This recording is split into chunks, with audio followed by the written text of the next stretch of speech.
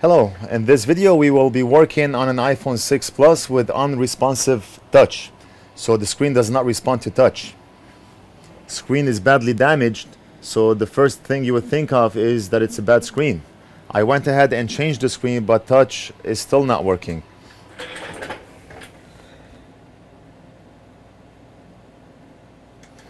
So at this point, we're gonna rule this uh, to being a touch IC problem. We're gonna go ahead and change the touch IC, which is located on back of the board, and hope that everything will go back to its working condition. Uh, this is a very common problem with iPhone 6 Plus. If you do drop the phone or the phone suffers from any type of twist or bend, the touch IC which is located on the back of the board will pull off the board or part of it will pull off the board which causes the screen to go unresponsive. So uh, we're gonna go ahead and take care of this and without further ado let's get started with the repair. We got the board out. Let's take a look under the microscope.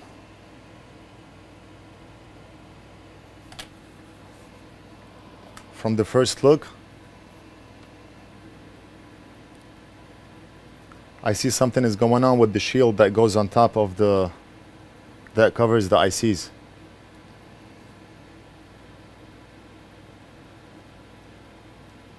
Look at this. Right here. So we're gonna remove this shield.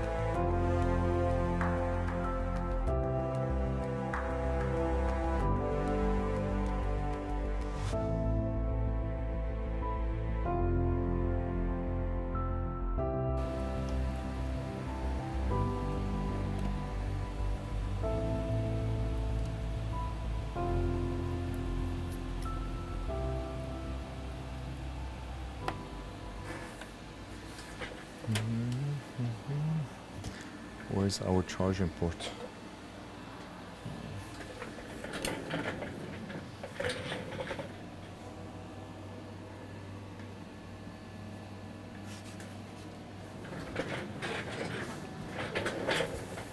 I just brought the charging port here. Oh, here.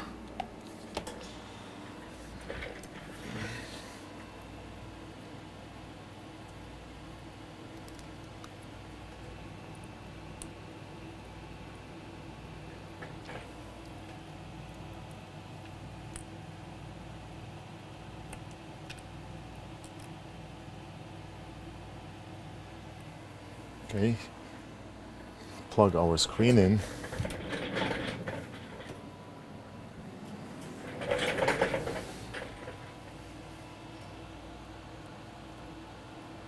And if everything went well, the phone will turn on and touch will work.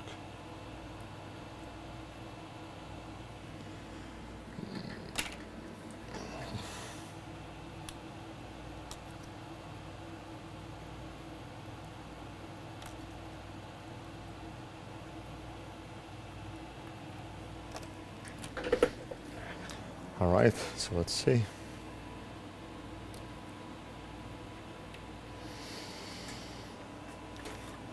Apple sign came on and that's that's a good sign. You're always afraid that something may go wrong and the phone would stop turning on. Things like this can happen and it did happen a lot.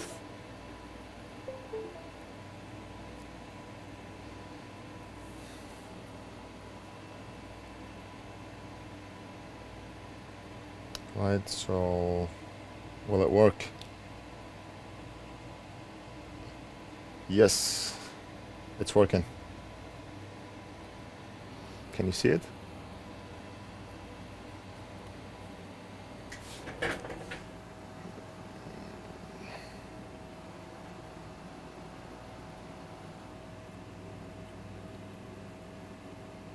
So check the top part, check the sides, check this part. Just want to check all parts of the screen.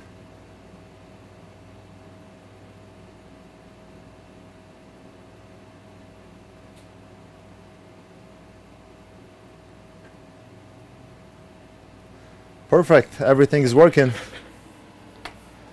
So that's how you change the touch IC on an iPhone 6 Plus. Thank you for watching. Uh, I think tomorrow we will be doing uh, SSD replacements on an iMac uh, late 2012 and we also have a MacBook that came in yesterday. I think I will be doing some benchmarks on them just as I did with the 2010 that we posted a few days ago. Right now we have let me show you quickly. We have the 27 inch iMac that we have down on the floor.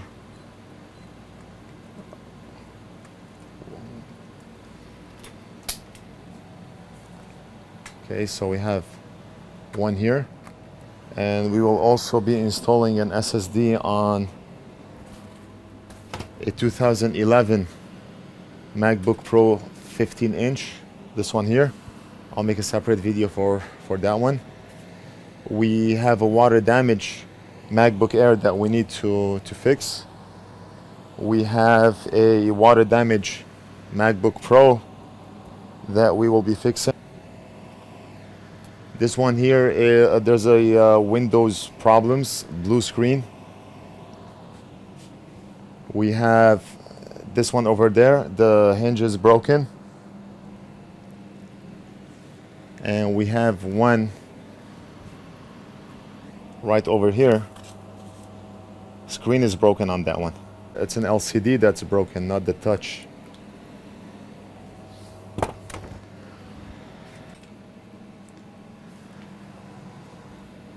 okay so what else do we have we have a PlayStation 4 with a bad HDMI port we will be doing this probably on camera too I'll make a video on that one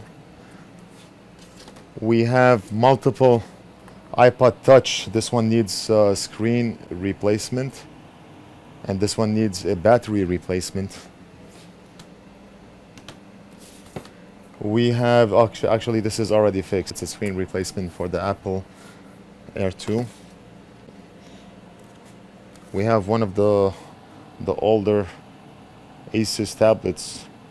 The, the guy wants it fixed battery replacement on the Galaxy Tab 2.